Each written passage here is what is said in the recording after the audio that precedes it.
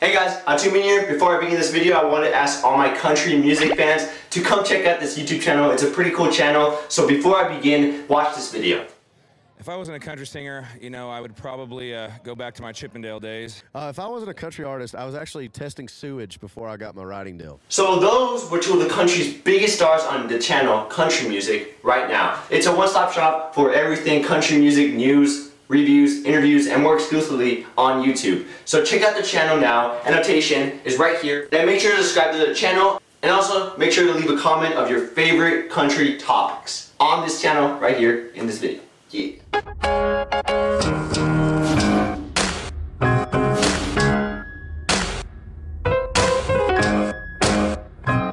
So guys, the reason I wanted to make this video was because I wanted to show you guys how to download incompatible apps on your Android device. Now you do need root. The reason you need root is because without it, you won't be able to download incompatible apps with any Android device. Now this includes uh, tablets, phones, uh, no iPhone or Windows, those suck. But if you have an Android, then you can do this. Um, you do need root, and it's a very easy process. It's not that hard. You don't need to be an expert. It's really beginner status. So uh, let's begin this Here I am with my Galaxy Note 2. This is rooted, by the way. And if I go into my favorite apps, I can see that it looks like this. This is what it's called. It's called Market Helper, and you can't download in the Play Store. You can only download with the link I give you. So if you want to go, just go into the browser with the link down in the description, and then once you're going to come up with this website, you're gonna scroll down all the way to like sort of the middle and you're gonna find download link and then you're gonna download this one where it says market helper. Once you click that link it's gonna download automatically. Here you can see there and you just tap on it and you click install. Very easy very simple. Now I'm gonna show you how to use the app.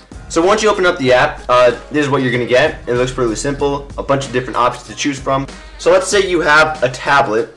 So let's say you have a phone. Well, what if you want to download tablet apps? Here you go, you can choose tablet, and you can choose what kind of tablet you want. Or if you have a tablet and you want to download phone apps, you can download phone apps right here and choose what phone you want. There's only three options. I'm going to go tablet mode because I don't have a tablet right now, and I'm going to go to the Nexus 7. Um, and then I'm going to choose what operator uh, I have. So I'm going to go into the country I want to go into. I'm just going to choose the United States because that's currently the country I'm in. So United States. And I'm going to choose what carrier I want. So I'll just choose T-Mobile because that's the carrier I have. And then select the account that you have with your Play Store. So I'm going to choose that one, Meister. activate it.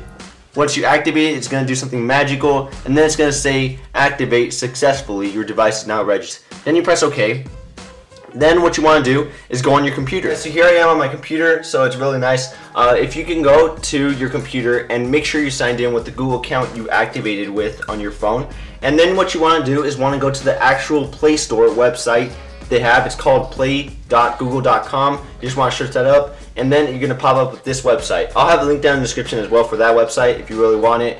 Then what you want to do is go all the way to the bottom all the way to the bottom and then choose I know you can't see that but it says my order settings my order and settings.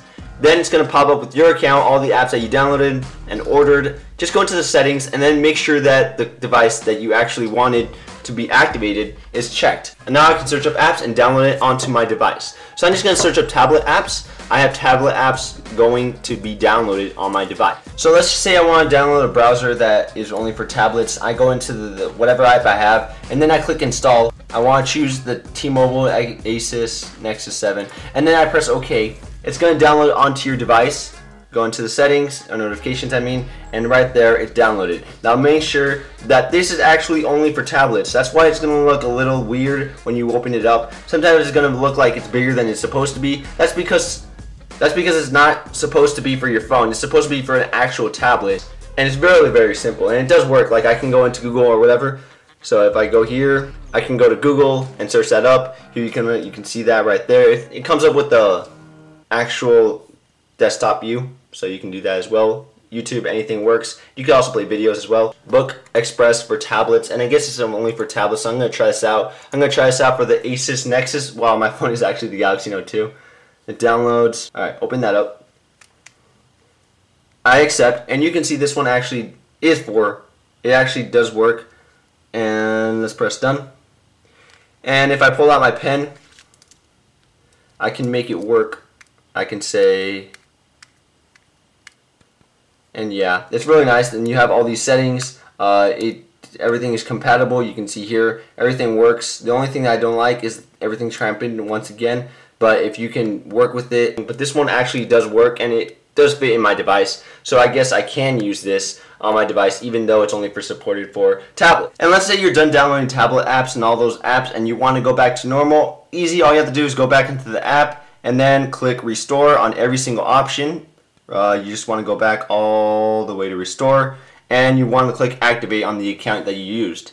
Then it's going to say your device has been successfully restored back to normal and there you go. It's been restored. Oh and by the way what's really cool about this app is that you don't even need to reboot your device if you apply it. And what's really cool about this app, it doesn't touch your build.prop or any system file, so it's easier and safer for your device. So that doesn't mean it's going to jack up your device at all. It's just going to make it so you can actually download tablet apps onto your phone or phone apps onto your tablet. And it's totally free. Like I said before, come check this out. Hope you guys like this video. Make sure to give it a thumbs up. Subscribe to How To Men. I know you guys like it. Do you guys like the new YouTube channel? I'll see you guys in the next video. Kapow! Peace.